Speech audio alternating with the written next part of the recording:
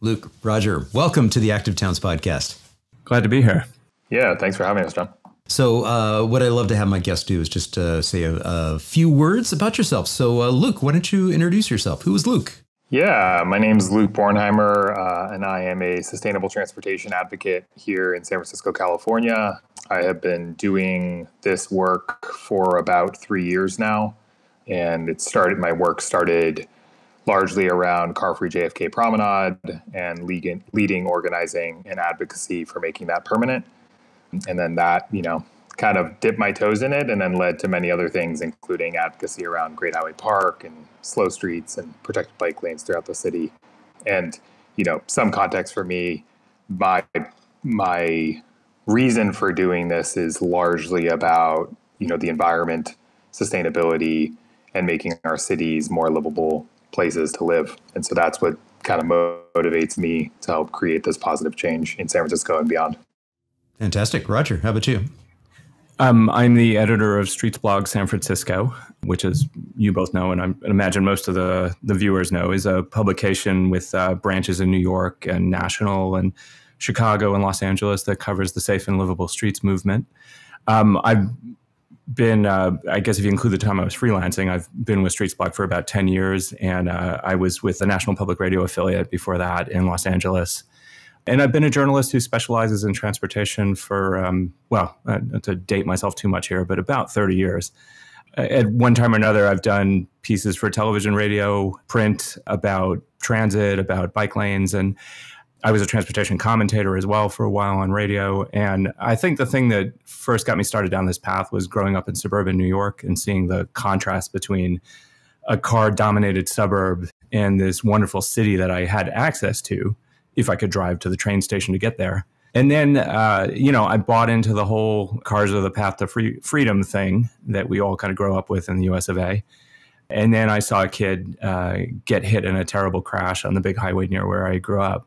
And it really changed me. And I found a lot of people get into the the safe and livable streets movement because of uh, seeing something or experiencing something like that. So right. that's my background in a nutshell. Yeah. And, and, and apparently you're also a movie star too. I mean, look at this. Yeah, occasionally when yeah. I run into Clarence with Streetfilms. Yeah. Yeah, yeah. Well, I'll, I'll put this on in, in, the background, and and yeah, this is uh, Clarence had the opportunity to to head over to um, the Bay Area and shoot a whole bunch of uh, videos, and and here you are, uh, the the superstar that you are. So, so talk a little bit about this, uh, Roger and Luke, both of you. Is you know in the Bay Area, we're we're seeing some progress being made, and I think that's really what was being highlighted here at the point. Yeah, I, there's a tremendous amount of progress in the Bay Area. It's very uneven, but one of the things that's done really well is, you know, and for people who don't know the Bay Area, Alameda is uh, kind of a near in suburb to the city. And I wrote a piece uh, a few months ago that Clarence really liked. And so we met out there and, and shot the video that you're looking at in the background there. But basically, it's an all new housing development that was built on a former Navy base. And Star Trek fans will recognize it. It's uh, I think there's a shot of it somewhere in here of the nuclear vessels from uh, from one of the Star Trek movies. But and there's an airplane, uh, you know, sort of alluding to the past of the area. But the uh, city managers in Alameda are just incredibly progressive, and they insisted that this new housing development have raised uh, sidewalk level protected bike lanes that you see right here. And they have succeeded in in the dream of the 15 minute city. Basically, you've got all your housing right there. You know, it's still they're still filling it up because it is absolutely brand new. But there's ground level shopping. These bike lanes actually lead all the way to the ferry terminal that they just built, uh, with a 20 minute ride to downtown San Francisco from here, from all this housing. So it's it's really an example of what the Bay Area and cities throughout the country can accomplish if they put their mind to it and really do the work, the advanced planning and everything, and and not just kind of relapse into oh yeah we need you know huge parking lots for people. How else will people get anywhere? And you know uh, there is some parking in this community, no doubt about it. But as you can see from these pictures, you know you can let your kids ride around. I mean it's it's safe. Yeah, yeah. yeah. I, I love it too that you know a we're able to kind of really highlight some infrastructure that when you have a situation like this where you can build a community from the ground up, you can put in truly authentic, all ages and abilities facilities. And you look at this, you know, protected bike lane here, and you saw that they, uh, in that particular section of it, you know, you you had some rain garden uh, facilities, so you you you you have that ability to to you know really help you know with groundwater and stormwater runoff and things of that nature. I, I it's just it makes me so happy to see you know that level of infrastructure being put in, and it it really helps too when you can do it right from the from the get go when you you know really have authentic, beautiful and functional uh, facilities and, and, and really getting that authentic uh, protection in. And Luke, I'm going to channel uh, something that you posted yesterday uh, for, for the next, you know, for a carry on to that of, of that. And, and, and this was a post that you uh, said, you're, you're like advocacy organizations. I'm begging you to stop referring to plastic post separated bike lanes as protected. Thank you so much for saying that and speaking up. I get it. I'm not overly negative of cities using lighter, quicker, cheaper materials to reserve the the real estate and make it, you know, put it in. But what we just saw from Alameda, that's protected infrastructure. This is not.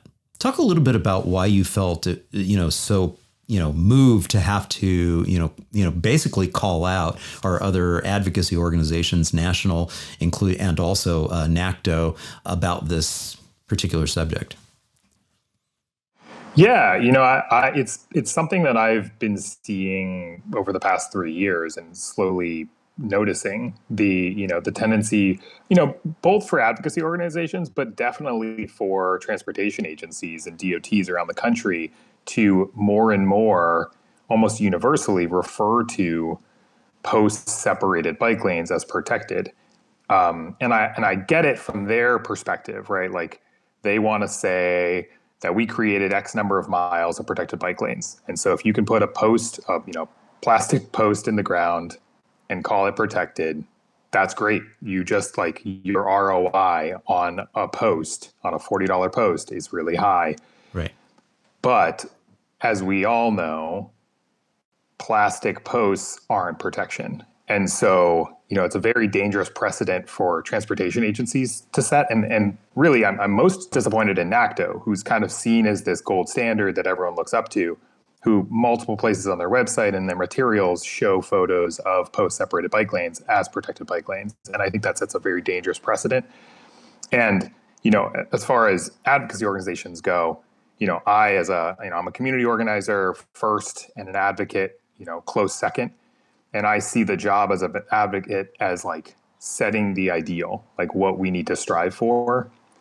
And so when advocacy organizations start saying that a post separated bike lane is a protected bike lane, they are giving permission to transportation agencies, to local legislators, to mayors, to governors to say, great, we've checked that box. People wanted protected bike lanes. They said a plastic post separated bike lane is a protected bike lane. We achieved our mission and so it puts advocates and you know in a very vulnerable position and, and more tangibly and, vo- and viscerally people in a vulnerable position to be injured or killed because plastic posts aren't protection.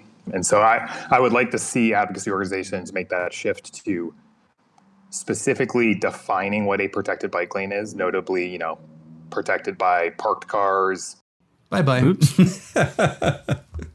well, uh, I guess I'll pick that up then. Yeah. I mean, so one of the problems with soft hit posts, as you know, we saw in, in Luke's picture. Sorry, Luke. I was. Uh, let me finish this thought, and we'll, we'll throw it back to you. But you know, those those posts. If you watch the advertisements from the manufacturers of those posts, they highlight the fact that they won't damage an automobile and won't stop an automobile they'll well, spring back up uh, to the yeah, car right yeah. over it. Uh, so uh, that's Roger. The, the whole the, the, the, the whole point is is is yes, the manufacturers literally call them flex posts. Mm-hmm. Yeah, and soft or soft or, they, or, or they also call posts. them they call them safe hit posts. Right, because they're you know, safe for the your other car. term they use. Yeah, they're safe, safe for your it's car. Just turned yes, on its head. Yes. Like that's what are we doing here, right? You know. So we our, our priority is to make sure that the moron who you know had six martinis before he got behind the wheel, or you know, or is looking at his or her cell phone and, and swerves into the bike lane, our priority should not be to protect that person's car. Right. And we have too many cases in the Bay Area. There are a few that come to mind of, of drunk drivers or distracted drivers actually killing people right. on lanes that had that kind of protection and they just drove right over it. Yeah. So, you know, it's to Luke's point, you know, for advocates to to jump on that bandwagon and start calling them protected lanes, you know, I, I don't think it's intentional, but you know, they they just need to think about it a little bit more. We need we need different words so we know what we're talking about. Yeah, and and, and Luke, uh, you you channeled the exact phrase that I used uh, when I you know highlighted a brand new facility you know close to to the house here in Austin, and and I said you know I'm I'm hesitant to call these protected bike lanes because it's just you know some armadillos and some and some uh, you know flex posts. I, I like to you know call them enhanced separation in the sense that it's better than just a buffer and it's better than just a painted bike lane. And so it, it's it's a it's a step in the right direction. It's this incremental step, but yeah, don't call it protection when it's not really protection. You know, if we're going to have concrete barriers or parked cars, yes. How I how I think about it is, you know, it's kind of like a grading system, right? And then again, this is this is a lot of why you know my strongest disappointment is in NACTO is like they are seen as this gold standard that should create kind of a grading system. And I see it as a gold standard, like you've got fully protected or, or frankly, fully separated off street paths, um, like you see throughout the Netherlands.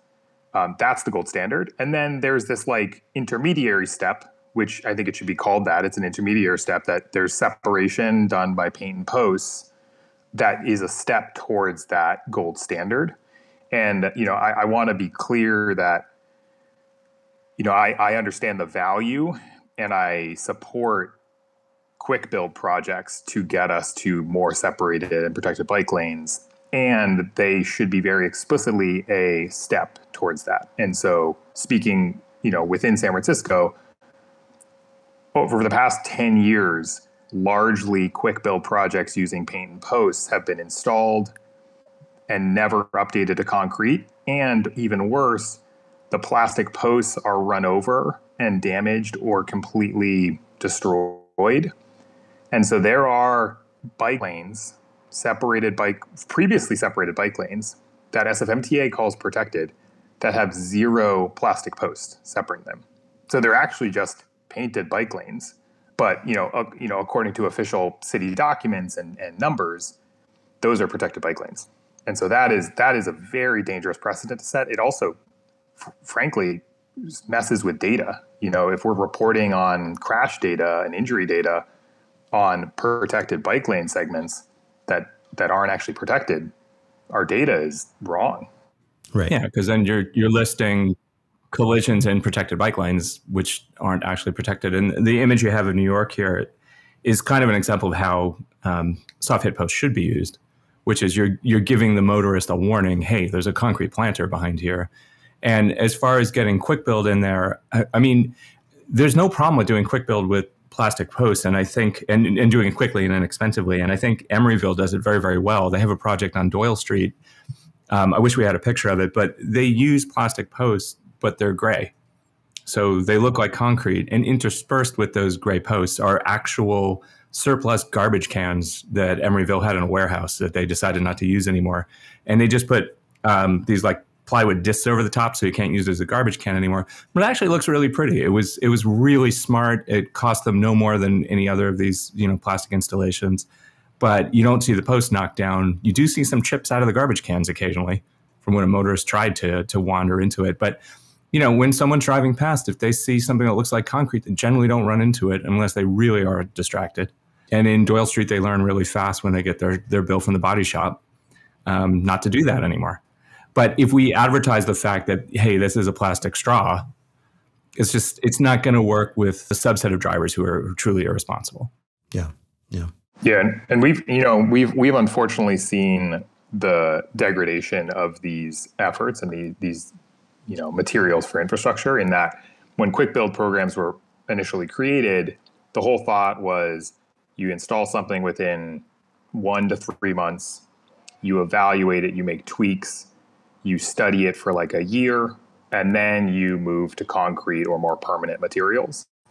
In San Francisco, our quick builds take 12 to 36 months to actually be approved and installed with quick build materials. They're almost never upgraded to permanent materials and they degrade over time. And so it checks a box. Um, everyone celebrates it, says we have new protected bike lanes, and then they degrade over time. And so, so yeah, I, I think you know my my effort and my hope here is that advocacy organizations and organizations like NACTO kind of make a course correction and really publish definitions around like what is a protected bike lane, what is a separated bike lane, and are there other definitions we want to define? And when, you know, what is the gold standard and what are we, when should a separated bike lane be used and for how long? Um, and probably the best example I've seen of this process is in Cambridge, Massachusetts, where they passed the Cambridge Cycling Safety Ordinance to implement a connected network of protected bike lanes around town and they said, hey, you know, we're going to install these protected bike lanes or sidewalk level bike lanes as we repave streets. And if we're not going to repave a street within the next five years, we'll install a quick build design. And then when the street is being repaved, we'll then actually come back and use concrete and, and install permanent. And, and it's it's just working incredibly well and is a is a true model I think for for the world, not even just the United States, that other cities should be replicating. Yeah. Yeah, I, uh, Luke is absolutely right. I mean, I, I, think Cambridge has the correct idea. But, you know, I mentioned that in the Bay Area, things are very uneven. One of the things that's frustrated the hell out of me is um, I live in Oakland and there you have a, you know, the streets in Oakland are, are infamous for potholes. They finally got a measure passed and they have money to do repaving. And they've been they have some great projects going on that are absolutely stellar, but you know, your average street when they go through and repave it, they just repave it and they put the door zone bike lane right back where it was. And it's frustrating as hell, you know, to to have that happen over and over and over again. And then the DOT directors will say, "Well, we don't have money for protected bike lanes." I'm like, "Yeah, you do. You just spent it. You you just threw it away." And we also, to contrast that development in Alameda, we have a development in Brooklyn Basin that just went in and they they basically built a new street from scratch and uh, a new sidewalk and rain gardens and everything. And then our advocates had to go back in after they like as the asphalt was drying and say, "Wait a minute, there's no bike lane here." And they had to go back in and retrofit it with plastic straws again. And it's like, you know, uh, it's so frustrating because then we we hear repeatedly we don't have the money to do it. And that particular development, Brooklyn Basin just drives me nuts. They actually did build a sidewalk level protected bike lane, but it's they treat it as a recreational path. It doesn't go anywhere. It's on the interior of the housing complex, and even though they're only a mile from the, from the BART station, it, it doesn't help you get there at all. And even to get to that bike lane is is pretty treacherous. So, you know, this, this is what we're up against as advocates. And I, I think Luke is absolutely right in stressing that first of all, we need systemic fixes to this. That you know, there have to be very strict guidelines or or we have to legislate we have to have laws that say when you put a new street in you got to do it this way. And i think also key to that to get us on track is yeah we need the advocacy groups to just to understand that what we're looking at here well i mean this is the right way to, again to use plastic posts. Um, you know with at least in, at least on an interim temporary basis. I mean, you, you have got these in, and thank you very much, Luke, for for um, sending these over. These are some some photos that you snapped uh, in New York City. Um, and I and since we were talking about these flex posts, I, am like, ah, let's let's throw a few of these up.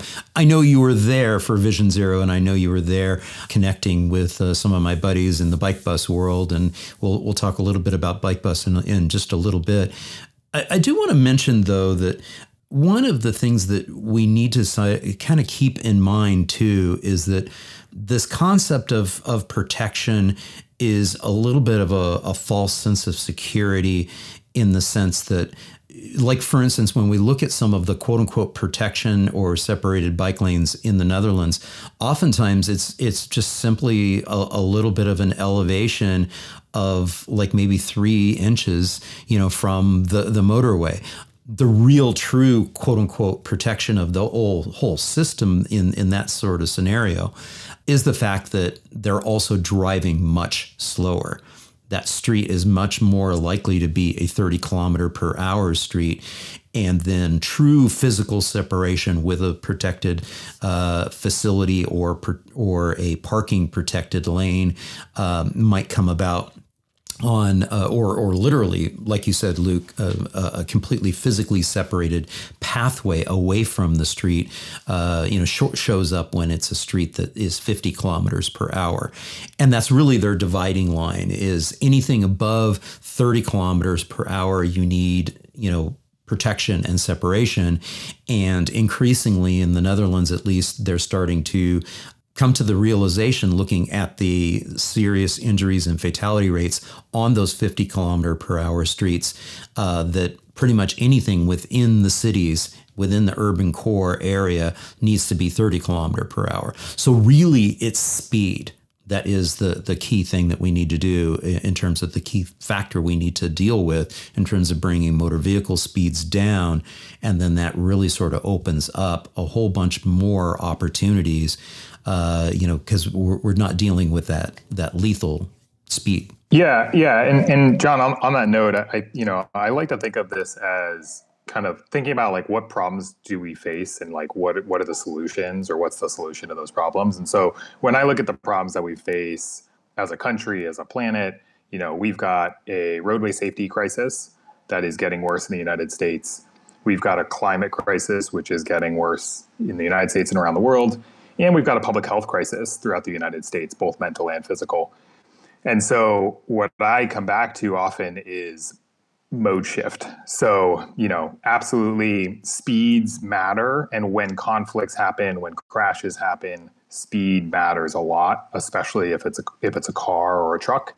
And, you know, the countries and the cities around the world that have really made progress on Vision Zero, on climate action, and on public health have gotten people to shift trips from cars to active transportation and public transportation. Um, and so that's that's what a lot of my focus is now is for San Francisco, for the United States, is really having people focus more on mode shift. And that includes and is very notably related to infrastructure and policy. So installing protected bike lanes, protected intersections, and, and notably making them connected in a network will get many more people shifting modes, which reduces the number of cars on our roads and also increases the, the percentage of our, of our cities that use a bike for transportation at some time in their life, which we know from the Netherlands is a really critical part because basically everyone rides a bike at some point. And so everyone's aware of people riding bikes and being careful around them. And so, yeah, I mean, I would love to see a day where we where in the United States we can have kind of, you know, separated bike lanes that don't really have substantial protection. But right now, we to get more people to shift trips from cars to active transportation, those people need to feel safe and actually be safe. Um, and the the proven way to do that is, is installing a connected network of protected bike lanes, you know, in every city around the country. Yeah. Um, and I wanted to add to that, you know, the streets in the Netherlands at our lower speed are either they're already narrow because just the houses are close together, um, or they've narrowed them with planters and and parklets and things like that. So yeah, I mean, it, we absolutely, um, you know, protected bike lanes aren't the right solution for every single street if we're dealing with a, a low volume residential street. But you know, if you're going to do that, you have to design the street to force slow automobile speeds. You can't just put a sign up that says, you know, speed limit is 25k or or 15 mph or uh, trying to convert my head there, but you know, you need to have. You know, I, I, wish we had some pictures of the street I just mentioned in Emeryville, but yeah, there, there's concrete blocks. There's a lot of similar things to what you just saw in New York City, where yeah, I mean, you can't drive fast through there. If you drive fast, you're going to crash into something right away. So I mean that's how you get those lower speeds. And then yeah, you don't you don't technically need a you know a thoroughly protected bike lane because the speeds are low enough that you should be okay most of the time. But you need to do both those things. I'd like to emphasize too that especially in the Netherlands, uh, and and also in in Copenhagen, Denmark as well, is that about 70% of their entire cycle network is actually considered shared space. Mm-hmm. It's not protected and separated uh, cycle network infrastructure. It's actually low speed, slow speed, residential community, uh, and, and, it's really you know if it's if there's actually no facilities for pedestrians, and it's true sort of woonerf uh, type of space. It's typically a, a 15 kilometer per hour uh, zone, but if it's just shared between people on bikes and people in cars, then it's a 30 kilometer per hour zone. And the materials on those streets, uh, the Fietsstraats and whatnot, are you know typically in brick, red or or red pave, red asphalt, uh, really sending the message that this is not a space for drivers to drive fast. It's it, it's really people priority space, and so it, it sends a different message. Mm-hmm. Yeah, we have an example of that uh, here in Oakland in Jack London Square uh, along the waterfront. It's you know it's all pavers. It's it's really bumpy if you try to go fast, even on a bicycle. Um, and there's steel bollards that sort of you know make it impossible to drive through, so that you know you have to kind of remove them to make delivery. So it's it's kind of access only. There's other sections you can drive through. The posted speed limit is five miles per hour, but you you couldn't go much faster than five miles per hour. There's just too much stuff. There's a lot of trees and fountains and and as I mentioned, bollards and grassy areas and yeah, I mean, it's funny. It's been here for so long. I don't really think of it as an example of how to build a street anymore because it's just kind of there. It's just um, there, yeah. But it's it's actually very similar to the woonerf. So now we're looking at Valencia, and and let's let's yes. dive into this because this is a rather complicated and and and difficult one. So this is a protected section of it. Luke, walk us through the challenge that is Valencia.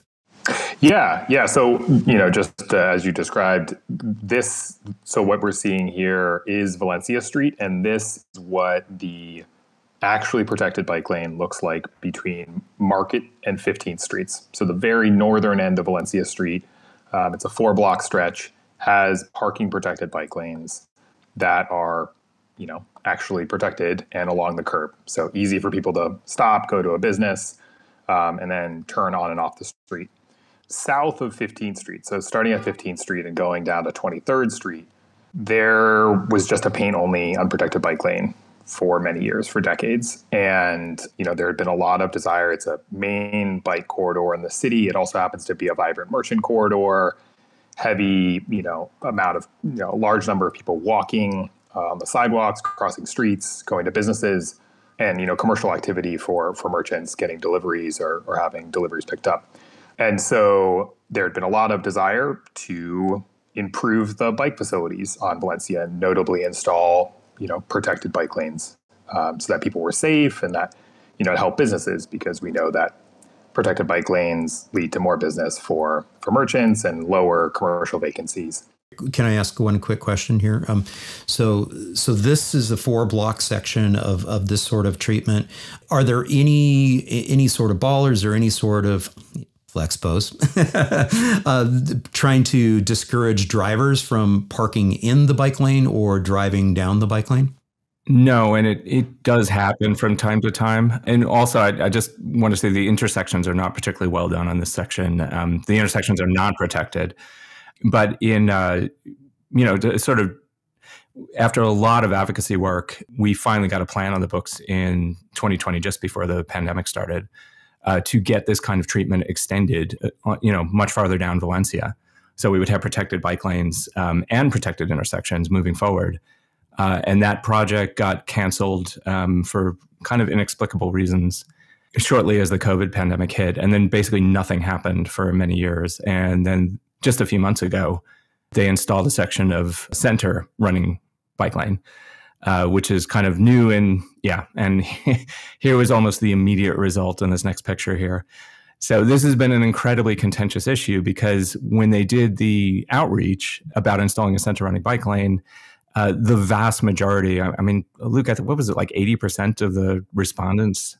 Yeah, in a three month long outreach process, 13% of respondents supported the center bikeway design that SFMTA proposed. So nobody wants it. This is what we're going to do. Is basically what happened. Who really wanted it that direction or that design? It, the, I mean, the short the short answer is that policymakers were essentially playing politics. They were trying to thread the needle and be, pick the least controversial thing possible. We see this over and over again in San Francisco. A bunch of half measure infrastructure projects where someone is trying to not piss off anybody or piss them all off equally. And so they design and implement a, a a project that doesn't satisfy any of the objectives, kind of pisses everyone off, and doesn't move, make progress at all for the city or for the planet. And so that's exactly what happened here. You know, ostensibly it was about car loading. Yeah, it was supposed to preserve. It was. It was parking. It was. Yeah. It, I mean, it was. It was car parking. So. Oh, uh, Luke, you should have just led with that. It's all about yeah, parking. It's all about. Okay, got it. Doesn't everyone know that at this point? But and and this this video here illustrates that perfectly. Like. Yeah.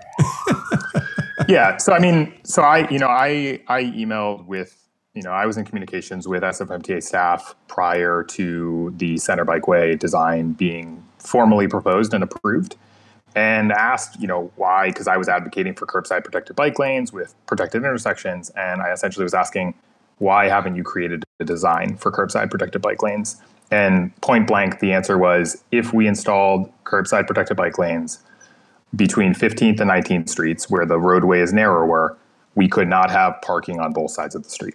So just point blank, it was about parking.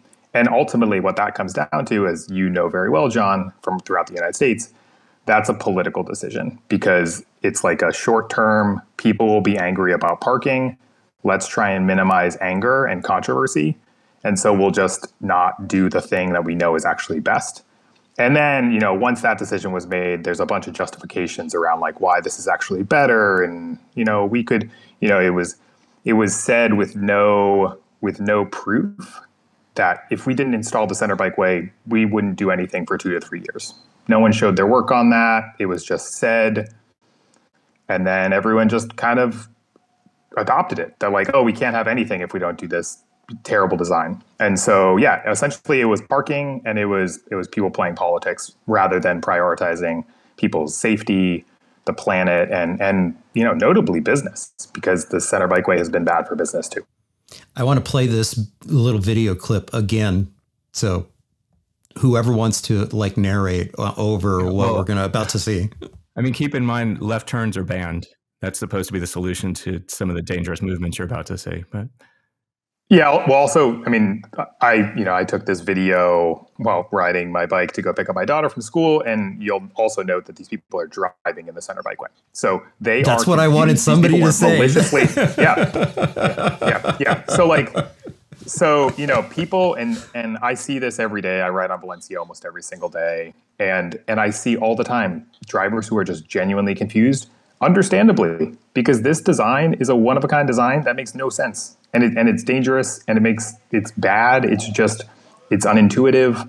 Um, and so yeah people do all sorts of strange and dangerous behavior all day long and none of them are doing it out of malice. They're just genuinely confused and don't know how to use the road because they've never seen something like this before. And notably, it's a terrible idea. Um, so it's not like, oh, they've never seen this before and it's a great idea and we'll all figure it out and then it'll be great and we'll have them everywhere. It's like, oh, no, this is a terrible idea. Everyone's confused. Please, someone with the authority and power to do something, stop it. Like, please stop it before someone gets killed. Yeah, and I don't I don't live anywhere near it. I've seen two people get hurt already, one that required an ambulance. Yeah. You know, uh, that's without visiting it that frequently, but you know, you can see with all these crazy movements going on how that can happen. And you know, we we also have heard accounts of um, a, a, colleague of ours who actually lives on Valencia at 18th watched somebody end up on the hood of a car. Fortunately, wasn't hurt too badly, and and sort of brushed himself off and got it and walked away from it. But um, we've had a pedestrian killed actually since this went in. Now, there were a couple of pedestrian deaths in the years prior, but it, it's a little strange that one has happened already. And, you know, I know Luke and I both believe it's, it's because of all this confusion. Yeah, and I, you know, I think I think uh, what I like to point out with you know with that that 80 year old man who was killed uh, while crossing the street. Unfortunately, SFMTA has taken the official position that the center bikeway had nothing to do with his death, and besides that just being ridiculous, it's a dangerous precedent to set that when you install something in a roadway, specifically in the middle of a roadway, it has no contribution to crashes, deaths, and injuries that happen on that roadway. That's that's an insane proposition. If you put a garbage truck in the middle of the street, you would say, yeah, that probably contributed to that crash. But because the agency wants to support this center bikeway, they are doing everything they can to defend it as if it's not actually a bad thing. And so, you know, we're not only seeing a disservice to the public, but frankly, dangerous behavior from you know government employees and, and policymakers who are both either essentially covering this up or not taking action. You know, so the, the amount of people who wanted curbside protected bike lanes or pedestrianization of the street before the vote and the approval, and even still greatly outnumbers. We're talking six to eight times as many people, you know, which coincidentally lines up with the 13% support. So another note of maybe the same 13% of people like this thing. And unfortunately, despite all of that organizing, that advocacy, people pointing out crashes and injuries, the only people with the power and authority to do something about it, notably Jeffrey Tumlin, who's the executive director of SFMTA, his board of directors, and Mayor London Breed are doing nothing, literally not taking action at all, not even commenting on it. And so that inaction is quite literally leading to people crashing, being killed, and being injured. So, I mean, I don't want any individual to face negative consequences from this. I just want people to be safe. I want us to have good bike infrastructure. I want businesses to recover on Valencia Street. And I want us to make action on climate change. And the Center Running Bike line does none of those things. What you're looking at here is there's a local artist who's also a cyclist and lives right off of Valencia. And uh, she was just super frustrated with it. And during construction, she made these fake uh, stickers and stuck them on top of. I'm sorry we don't have more pictures of this, but it's funny. But it's it's almost there's nothing left to do but laugh at this, as horrible as that is. But we're kind of stuck with it for the time being. Yeah, good luck, cyclists, indeed. Yeah, it, it, it, seems as if, and we're now we're back to to this this final shot here.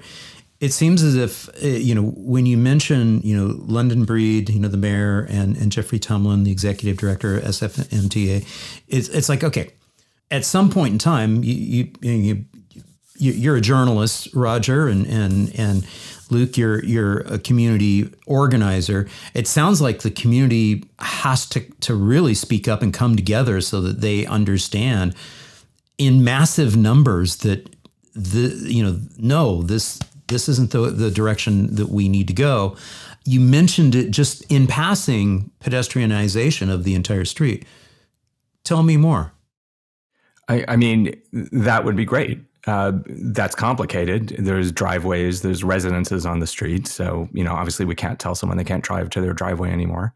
Well, and, um, and when we say pedestrianization, you know, when we think of a street that is pedestrian priority, like in the Netherlands, yeah, it, it basically means this is not a through street. You know, if somebody needs to take a delivery, they need to get to a driveway it's what we were talking about before. It becomes like a you know a 15 kilometer per hour zone type of thing, a, an ultra low speed zone. So I think everyone is more or less on the same page about this. So there there's a subset of exceptions, but you know either we have to get uh, truly protected bike lanes and intersections in here, or we have to make entire blocks of the street access only, where you know a, a you can drive onto it, let's say in one direction there'd be a lot of obstacles and barriers. You can, you know, there's a lot of burrito shops in Valencia. So just as an example, you can stop off and get your burrito and then drive on, and then you have to turn off Valencia again. You know, that seems appropriate for many blocks of Valencia. And we can do some sort of mix, perhaps, of protected bike lanes for a lot of it, and then uh, pedestrianization slash access only, you know, for the other blocks this is something that I think the vast majority, probably of the merchants, I mean, certainly the merchants that we've talked to, I, I think a lot of drivers would actually like that too, because we've got major thoroughfares, you know, very close in parallel, such as Guerrero and basically any other street in the Mission. So it's it's not like we need this as an automobile thoroughfare. We kind of need it as a bicycle thoroughfare because of the top- topography of San Francisco. It's just if you're if you're trying to get between downtown and the rest of the city, this is this is your preferred route. So yeah, I mean, why that isn't happening, you know, I find it kind of inexplicable. We've recently had a few resignations at MTA um, and at one of the major advocacy groups. I don't know for sure yet, but it seems hard to believe it doesn't have something to do with this mess. You know, because this is kind of the marquee project of uh, the SFMTA right now. Yeah. Uh, and it's obviously not going very well, as these videos illustrate pretty clearly. So I don't know what to say. I mean, I've reported on this exhaustively um, as have other journalists in the Bay Area. I, I, mean, I'm, I'm hardly alone on this. I mean, the the crashes have been reported on, and and um, kind of our hyper local publication, Mission Local, which you know that's their territory, and the San Francisco Chronicle has reported on it. I don't know why this continues, but it seems as if MTA invested in something that I think a lot of us, you know, knew from precedent in the Netherlands and other countries was going to fail. The few examples we have of this uh, in other cities and other countries that had similar problems, and you know, I I want to point out there are edge cases where a center running bike lane kind of makes sense. There are some of them in New York City on bridge approaches, for example, where kind of if you're looking at the Williamsburg Bridge, you've got you know the the bike lane or the bike space on the bridge is kind of towards the center. So as the roads approach the bridge, you've got to build center running approaches. Same with the Brooklyn Bridge, but they put really robust jersey barriers up, and the streets on the approaches they're they're not really commercial corridors like Valencia is. So like this was a bad idea. A lot of people thought it was a good idea.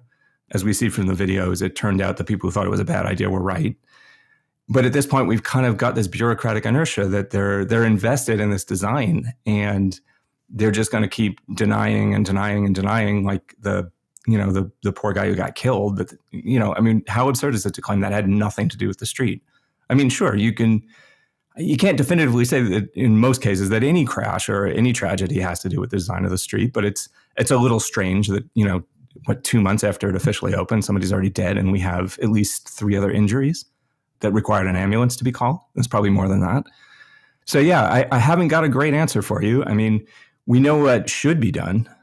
Uh, the thing we can't answer is why isn't it being done? Right. Yeah, no, I, I, think to your question about pedestrianization, you know, I think ultimately what this boils down to, as you noted, and as I've advocated and pointed out, pedestrianization can still allow for commercial deliveries. It can allow for local residents to access their garages. Um, and so that's abundantly clear.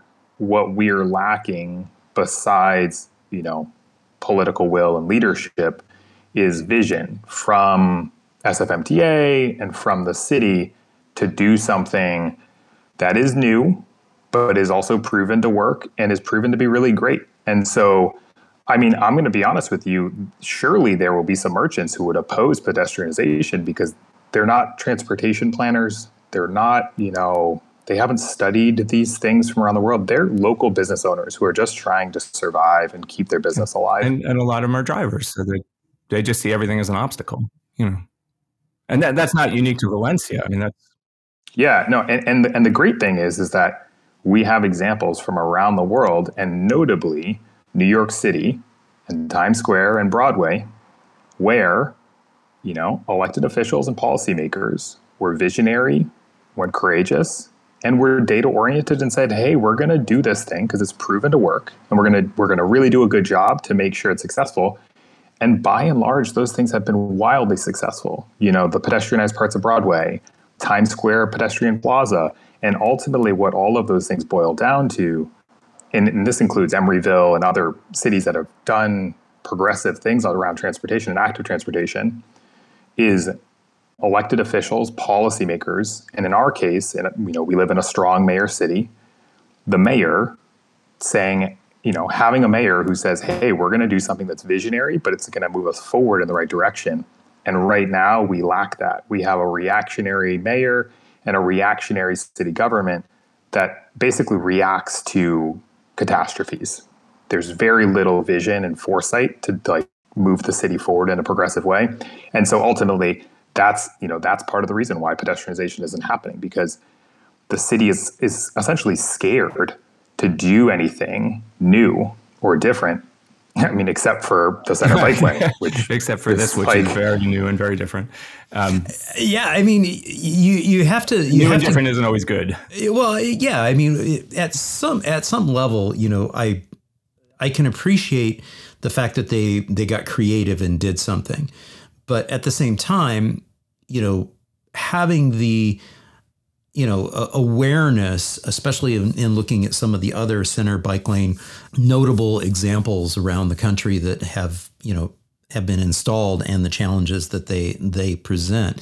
Be like, yeah, okay, you know, some of the things that probably should have been thought about or some of these dangerous movements that are happening, you know, across the the, the lanes, et cetera, uh, the challenges that are, are, associated with that, and getting back to what we were talking about before about what's true protection versus, you know, you know, wannabe protection is, is, like, yeah, if these were the sort of the, the the low format jersey barriers instead of these mountable plastic things, you know, we might be looking at a different scenario where we're not seeing these movements of motor vehicles uh, across them, and and really and and using them as the left turn lanes and things of that nature.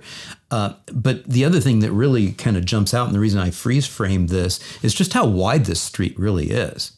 Yeah, there's plenty of room to do everything that needs to be done on the street. It's it's absurd for people, and I hear that actually from time to time. People say Valencia is a narrow street. No, it isn't. You know, maybe by California standards, it's a little narrow, but yeah, by international standards, it's enormous. Something else I just want to note is, you know, I, I am a, I'm a former designer, and I understand the the design process and an approach to design. And and what I understand here is the SFMTA took a very narrow look at this project. It was supposed to be about safety for people on bikes, and they they clearly created a list of the problems, and the problem list was double park cars in the bike lane. So that was it, and it was just like that's the problem. How do we solve that? Therefore, a center bikeway, you're like that solves the problem. People won't double park in the bike lane anymore. Unfortunately, it creates a, a whole ton of unintended consequences and doesn't move us forward and, and isn't proven. You know, it's it's a new thing, but it's backed up by no data versus curbside protected bike lanes, which I'll just briefly note. If you actually go back quickly to the photo of the curbside protected bike lanes on Valencia, um, I I will note that we know because SFMTA did two different evaluations of that section of Valencia Street that those curbside protected bike lanes reduce double parking in the bike lane by 99%. They reduce close calls by 100%. This section worked, so let's not do more. Yeah. This worked. Yeah, and they and they increased correct. So it, you know, reduced double parking in the bike lane by 99%, it reduced uh, close calls by 100%, and the number of people biking on that stretch of Valencia increased 49%. So like phenomenally successful. It's like data that you you just want to celebrate and you just want to put it out there everywhere. Like this works. Here we go. We're going to do it elsewhere because look, like this data, we back it up. What a shock! The the orientation that worked everywhere else in the world worked in San Francisco too. Remarkable how that happens. it, it is it is dumbfounding and infuriating that the agency and the mayor is essentially ignoring that data and and proven best practices around the world, essentially to try and solve a political problem at the cost of people's lives and the planet. Like that is inexcusable. John, if you want to switch over, there's actually a merchant corridor just across the bay in Oakland on Telegraph, where they actually put really robust curbside protected bike lanes in. Uh, and they started out with plastic posts and uh, you know parking protected, and it was similarly contentious, but I think more rational minds prevailed in that case. And we got, you know, we have a really great project, which is being finished up as we speak. There's crews out there uh, putting kind of the last touches of paint on there. So um, I don't know if you want to cue that up, but it's uh, yeah. So so so this is this is Telegraph. So this is uh, this is kind of uh, another one of the videos that uh, Clarence put together. Yeah. So walk us through this. So this is, uh, as I mentioned, it's under construction. You can see some of the paint is is still not completed, but basically they put these large islands down to make sure that you have daylighting at the intersections. So this is actually an improvement over the parking protected section of Valencia. Um, but this is just across the bay in Oakland. So, you know, eh, we, we don't even have to go to New York City. We don't have to go to the Netherlands. Uh, you can just take BART for 15, 20 minutes and ride on this. And, you know, we have similar numbers that show that this works and it's safe. And actually, some of the people uh, who are currently at MTA uh, helped design this. So it's just utterly bizarre that they would turn away from global best practices and build a center running bike lane in Valencia when, you know, again, I, I to me, it would be inexcusable if the planners at MTA were not familiar with with global best practices. But even if they weren't, they can just go, you know, visit Oakland for a couple hours and see this in operation. I think it's I think it's rather clear from what you have both said that it's not that the planners don't get it. They would probably love to do this it's what you were saying earlier. It's this is a political thing, and we don't know who, and we don't know exactly. I would assume, or maybe we do, but we're not going to say. Uh, but you know, but yeah, I mean, it, this is obviously this is politics, and you know, and, and this is once again about parking. Yeah, over life. Yep. Yeah, and, and I will, and I will, you know, I think, I think to that point, John, I think it's, it's really important for me and for other advocates and organizers to know is that oftentimes people will be like, we don't want to make this stuff political. We just want to make streets safer. We want to help people shift trips. And I think, especially in San Francisco, a fiercely political city, that is just not the reality of things. You know, politics are a massive lever, if not the only lever in many of these things. And we see that in the negative way, like in San Francisco, where the Valencia Street Center Bikeway was approved and installed. But we also see them the positive way. You know, notably, I mentioned Cambridge earlier. Cambridge cycling or, safety, or what we just saw in Oakland, Luke. The the DOT head at the time didn't want to do that and got overruled by the city council. Yeah, and and, and you know, in, in in Cambridge, Cambridge cycling safety organized people found candidates, got them to pledge to support the cycling safety ordinance, and got seven of nine city councilors elected who supported the ordinance. And so, therefore, months after being elected, they passed the ordinance. And so it was really easy. You know, and then elsewhere, you look at Emeryville, California, John Bauters was elected, became mayor, and he believes in this stuff and he he sees the vision, he has the vision, and he's willing to be empathetic and compassionate and communicate the data.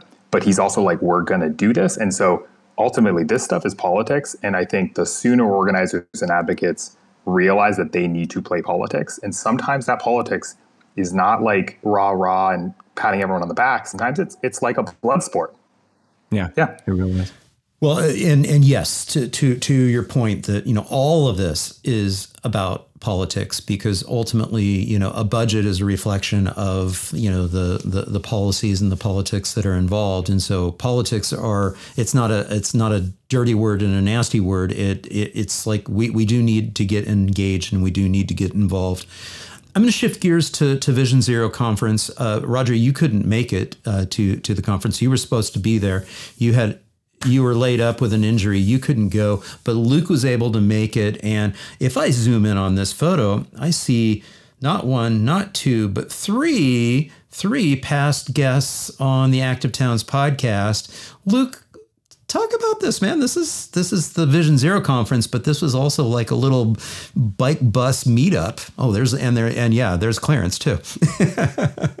yeah, yeah. So you know, uh, I first want to acknowledge and appreciate uh, Transportation Alternatives, Danny Harris, um, Elizabeth Adams, and the whole team that that set up the Vision Zero Cities conference. Uh, really well put on conference. Lots of great activities and uh, sessions um, and networking that happened there. Um, and this, you know, this was part of that conference. So there was a kind of a field tour that was about how to start a bike bus. And so it was like going out. We we did a bike bus route in Brooklyn with Emily Stutz, who who leads the Bergen Bike Bus there, and also had Sam Balto or Coach Balto from Portland, Oregon, uh, and Megan Ramey from um, Fort Hood.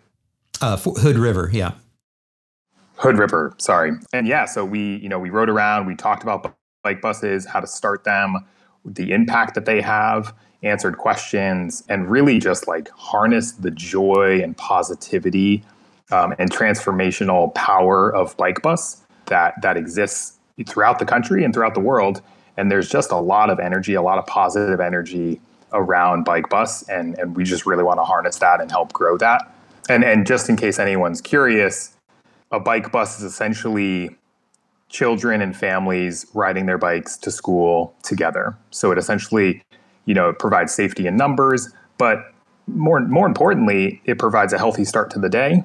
It provides a social opportunity for kids to hang out with their their friends, and it provides families a really easy, safe, and joyful way to shift some trips from, you know, cars to active transportation. Yeah. And and you all have been doing bike bus stuff in San Francisco for a while, right? Yeah, I, I helped to kind of start SF Bike Bus and get some of the bike buses going here alongside uh, Peter Belden uh, and Molly Hayden to really help people shift trips and have a great time getting to school and introduce kids and families to to bike buses and biking to school. Um, and so, you know, we we have a, we've had a few bike buses here in San Francisco.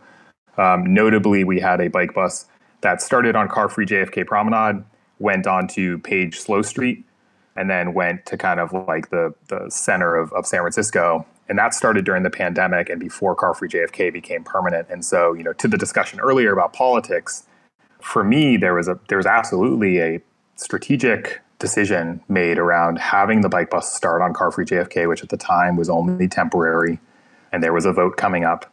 And having it start there and go on slow streets, which were only temporary, and had a vote coming up.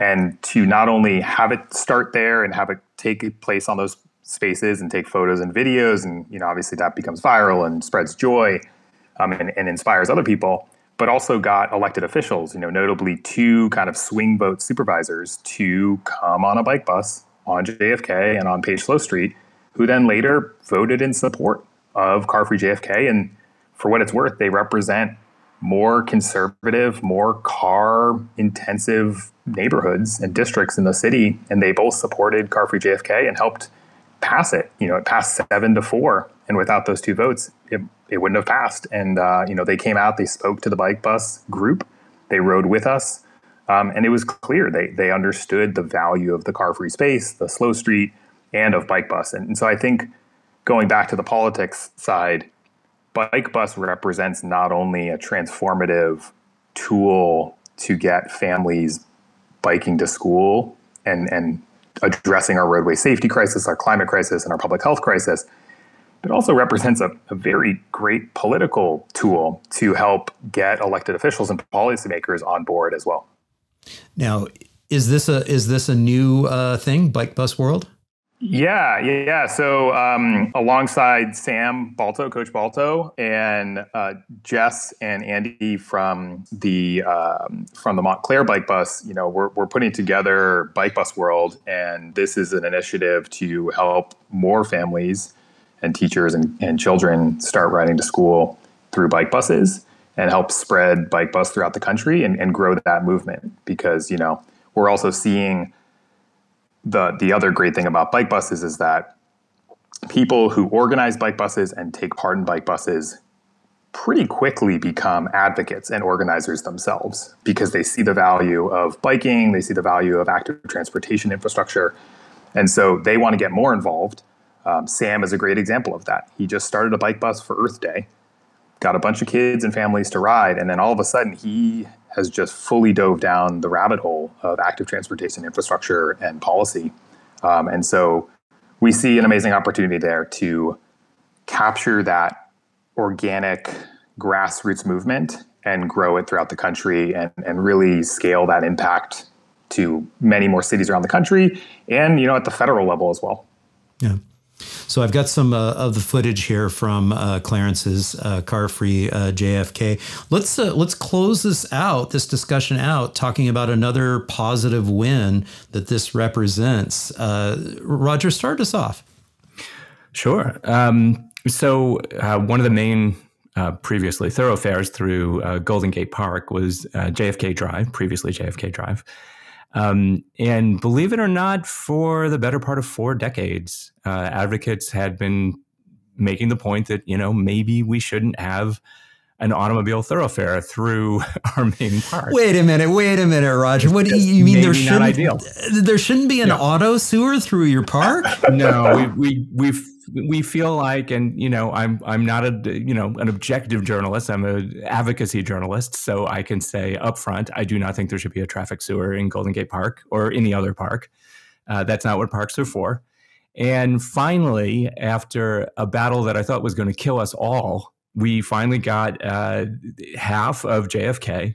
Uh, and this actually, for details I won't get into, gives us a, a more or less car free route through the entire park and we turned this part of JFK into the JFK Promenade. And uh, a local arts advocacy group came in and and installed all these art installations that you see in these pictures.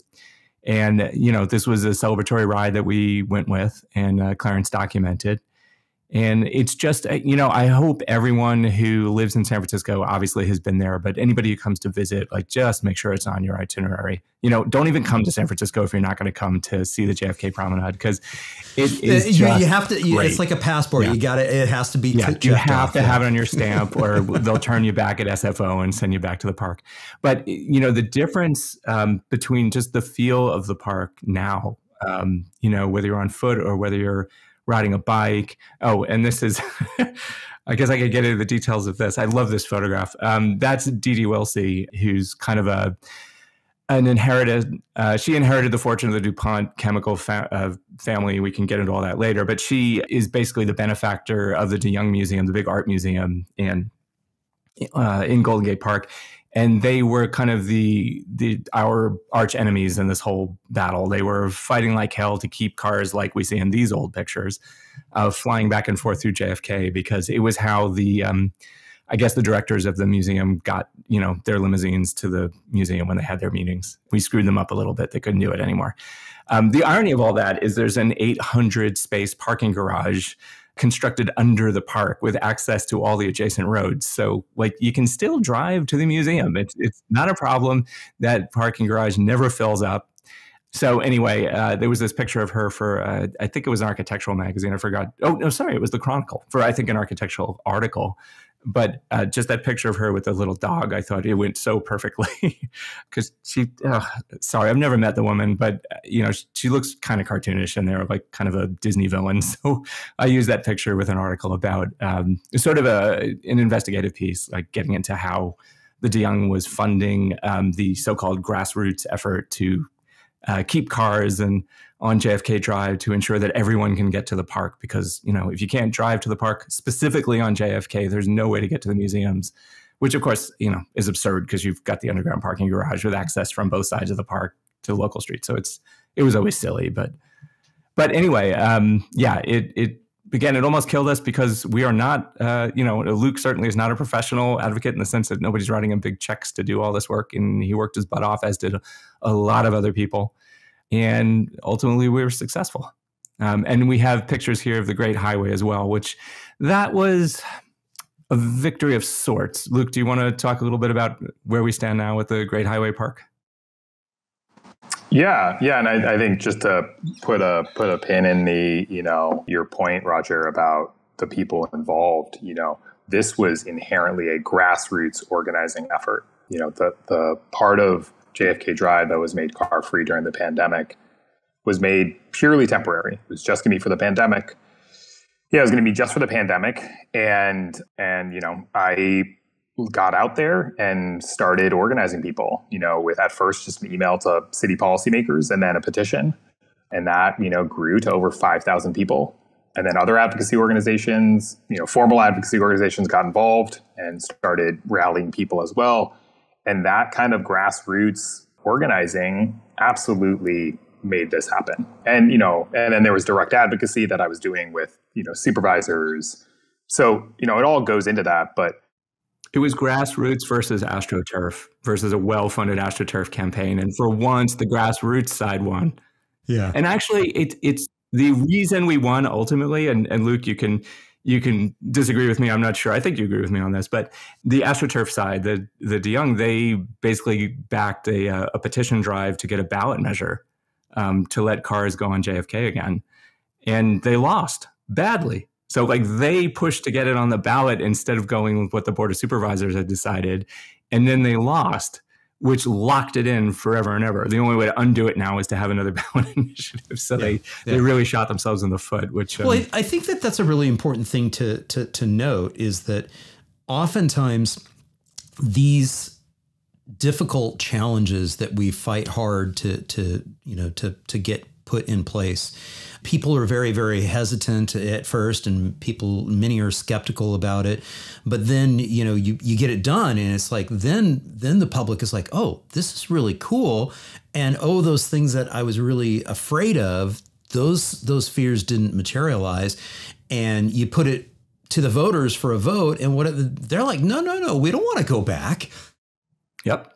Yeah, and they were surprised when you talk to the average person on the street uh, around Golden Gate Park and explained to them that there was going to be a ballot initiative to put cars back on JFK. They're like, "What? Like, who would do that? Like, why would you want to do that?"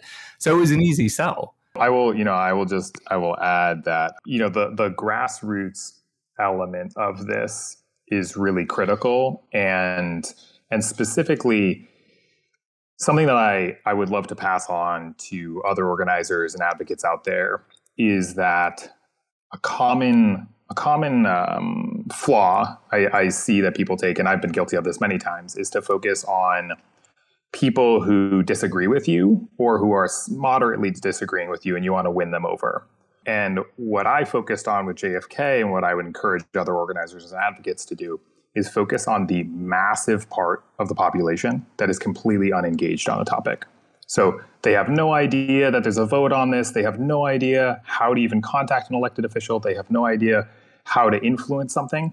And you want to give them that tool in as easy a way as possible to engage civically. And doing that essentially grows the, the pie of how people are engaged in the civic process and dramatically shifts the dynamics around politics. And so, you know, that's Bike Bus helped with that. Uh, grassroots organizing and campusing helped with that. Um, and so that's, you know, I would, I would impart that on other people um, to encourage them to do that in their city with their project. You know, start early and often and get as many unengaged people engaged and on your side of the issue.